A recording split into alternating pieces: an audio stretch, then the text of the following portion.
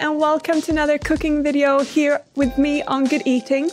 For those of you who don't know, I'm Malin and today I'd like to share with you a late summer vegan barbecue and I'm gonna make four dishes and the first one being a sort of side dish that's not going on the grill.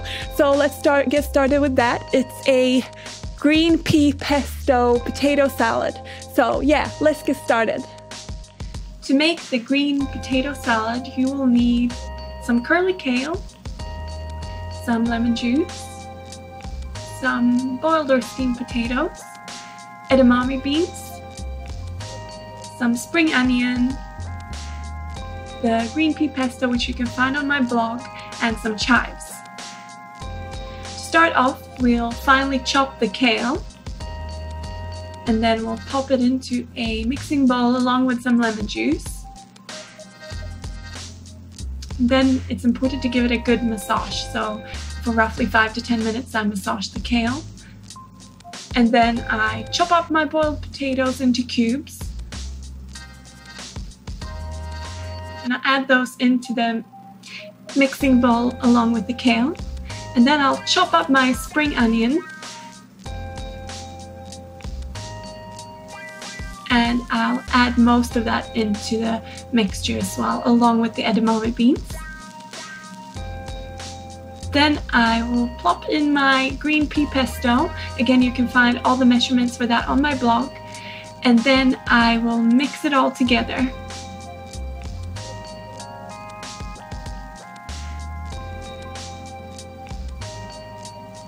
When it's all mixed, I'll go ahead and chop my chives and I'll sprinkle that on top. And there you have it, a green potato salad. And next up is the barbecue cauliflower steak. For this recipe, you will need some smoked paprika, some cumin, some onion powder, as well as garlic powder, some Tabasco, some Dijon mustard, some brown rice syrup, some tomato paste, and finally cauliflower, and a little bit of lemon juice, as well as salt and pepper. So first of all, you just mix all the ingredients together except for the cauliflower itself.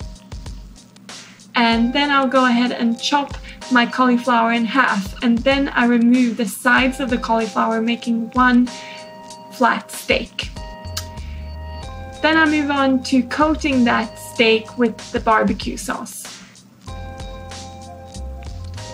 And you could use a brush for this, but I'm just using a spoon. And then we'll go ahead and oil the grill a little bit to make sure nothing sticks. And then I'll place my cauliflower steaks on the grill for about 5 to 10 minutes on each side. Now, if you're using a really big cauliflower, you might want to grill it without the barbecue sauce for about 5 to 10 minutes and then add the barbecue sauce and place it on the grill. I'm serving my cauliflower steaks on a bed of lettuce, but hey, whatever floats your boat. Let's move on to the third dish, which is buttered corn on the cob. And for this you will need some corn cobs, some natural string, some herb and garlic butter, which you can find on my blog. And to do this, you just place the corn on the cob on the grill with the husk for about 15 minutes. You have to flip them throughout. And then I peel the husk off. Once the husk is peeled off, I tie it up with a string to expose the corn kernels and then I return it to the grill to char it a bit. Now this is to your liking. And once it's charred, I serve it up with the herbed garlic butter, and again, all the measurements for this is on my blog. The last dish in this video is a charred iceberg lettuce with a creamy cashew dressing. And for this dish, you will need a head of iceberg lettuce, some garlic powder, some salt and pepper, and the creamy cashew dressing, which again you can find the recipe for on my blog. So to start off, we'll just chop the iceberg lettuce into quarters. And then we go ahead and put the garlic powder all over the wedges, as well as the salt and pepper. And then I place it on the grill for about two minutes on each side until it's charred. Again, this is to your liking, so as much or as little as you like. And then I just remove it from the grill and I drizzle my creamy cashew dressing, which has thyme and oregano, making this really delicious. And then I sprinkle some fresh oregano on top as well as a garnish.